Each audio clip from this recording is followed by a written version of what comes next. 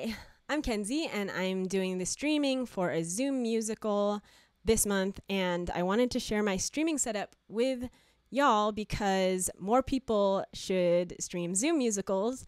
And so I'm going to share this setup as a baseline. Um, it's not perfect, but I think it's got some really good elements. And so here it is.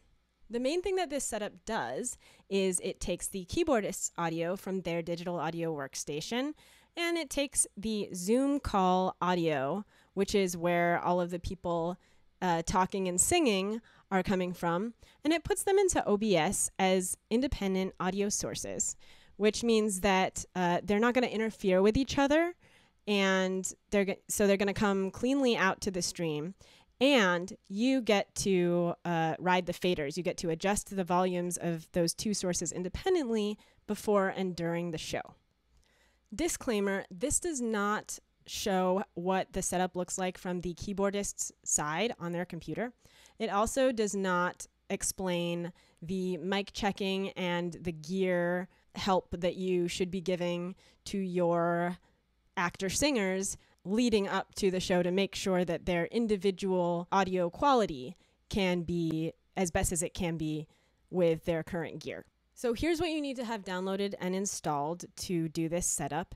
You need to have the Zoom desktop client, Open Broadcaster software, which is the interface that you see here, Audiomovers, and Soundflower by Softonic. The links to all of those are in the description. Okay, so first we're going to do the audio sources and then we'll add in the video source. To get the keyboardist's audio, we're going to add a source audio input capture source. And let's call it Audiomovers. And we're just going to use the default device. Click OK. Then right click on Audiomovers, the source that you just made, and go to filters. Uh, you can't see it. It's below. It's like at the bottom of the menu, filters. Okay. And then once you have that up, you're going to add, and again, it's at the bottom of the menu. Ugh, let me move this up so you can see it. Here, VST2X plugin. And I'm just going to call this Audiomovers Listen to Receiver because that's what the plugin itself is called. Then I select it. This will just show up if you've already downloaded Audiomovers. Listen to Receiver. Open the interface it's open on my desktop. You can't see it yet, but trust me. And then also click Open Interface when active. Okay, it'll show up somewhere on your desktop. This is what it looks like. Ooh. Okay, we're going to add our Zoom audio source now. Add another source and an audio input capture. And let's call this Zoom audio. This time, we're going to pick Soundflower, one of these, it doesn't matter. Now, these devices will show up as options once you've downloaded and installed Soundflower. Hit OK. That's half of it. The other half of it is you go into your Zoom audio settings, which I'll just drag over here so you can see. And you're going to change your speaker to Soundflower, uh, whichever number of channels you just selected in OBS. And so it's basically like the sound is going from Zoom into this Soundflower thing and then device. And then it is going from the Soundflower device to here because you selected it here. Okay, so now I'm going to do a record and replay thing so that you can see the audio coming in.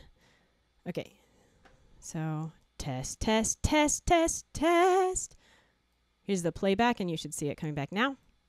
Let's just put the zoom window visuals in here because uh, that's the last step. Okay, uh, again, you can't see this menu. I am choosing display capture, um, and we'll call it Zoom meeting video.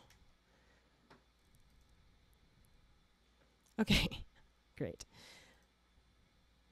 We're going to crop it to a window, choose the Zoom meeting window, it's at the bottom of my list.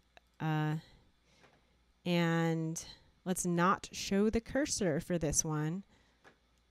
That's important. And then this is not. let's get rid of my FaceTime camera. Yes, get rid of that. Okay, here's the zoom window. It's poorly cropped, but that's not the point of this video. Okay, so I'm going to drag the Audiomovers uh, user interface into this window where you can see. Okay, so this is what the Audiomovers user interface looks like. It's right here. And Bryson gave me a session link, so I'm going to paste it right there um, and connect. So now that I'm connected, you can see sound coming in here because he's playing the piano. Even though we can't hear it, we see the sound coming in through this audio source. We go uh, to the gear, that's settings, and unfortunately down at the bottom of this menu that you can't see, it says advanced audio properties. I'm going to click there. And I'm going to change this Audiomovers audio monitoring to monitor and output. For the Zoom audio as well, you got to change it to monitor and output. Now, when somebody is talking on Zoom, we will see it in this Zoom audio mixer. And when, when Bryson's playing piano, we will see it in this Audiomovers mixer. Bryson, would you do us the favor of speaking and playing at the same time so we can see both of the inputs coming in?